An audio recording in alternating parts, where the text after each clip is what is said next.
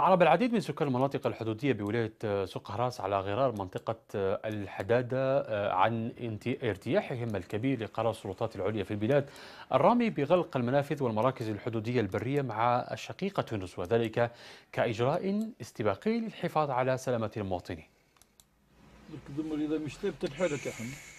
هذا الشيء اللي داروا رئيس الجمهورية إحنا فرحنا وعجبنا وفرحنا به ماذا بينا إحنا؟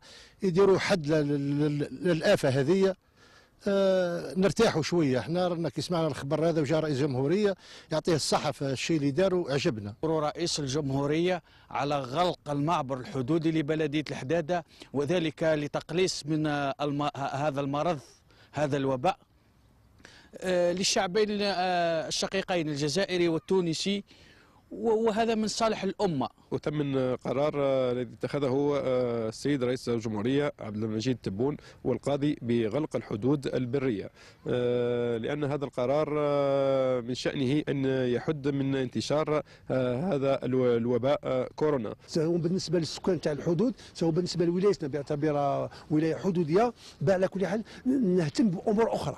لأن مش ممكن نبقى نعس في الحدود وحنا عندنا فيها انشغالات أخرى على مستوى كما نقول كما نقول بلدية تاع الولايه